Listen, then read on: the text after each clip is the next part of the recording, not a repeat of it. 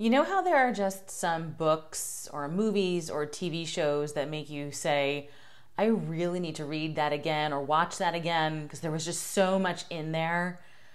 Stories that have so much depth and there's just, they're packed with meaning that we want to revisit them time and time and time again and get more out of them. Well, the Bible is one of those books.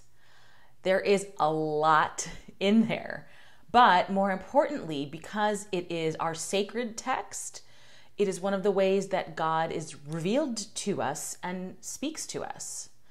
We could spend a lifetime reading the Bible and never fully grasp all of the meaning that it has to offer.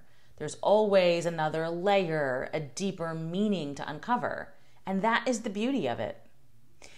Bible is full of variety. It's not a history book or a newspaper. It's not something you just read from cover to cover.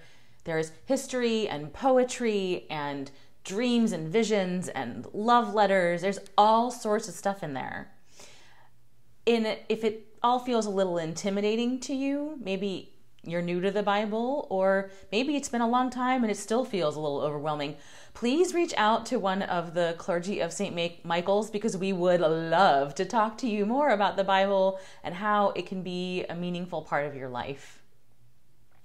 Now, I'm talking about the Bible because our next step in the way of love is learn, which, as you might imagine, uh, is asking us this week to learn from God's Word. Reflecting on Scripture on a regular basis is a crucial part of a life of faith, and it doesn't have to be a drag. You are going to use this week an ancient practice called Lectio Divina. It invites us to listen to Scripture thoughtfully and prayerfully and methodically.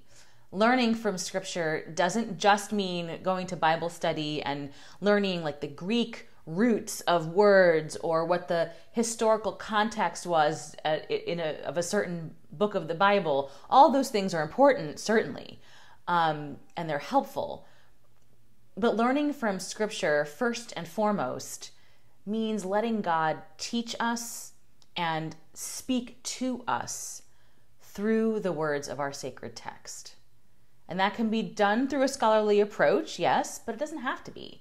The words of Scripture are rich and deep. And what is most important is that we let ourselves encounter them with an open mind and trust God to speak and do the rest. So I hope that you enjoy this week's practice of learning. God be with you.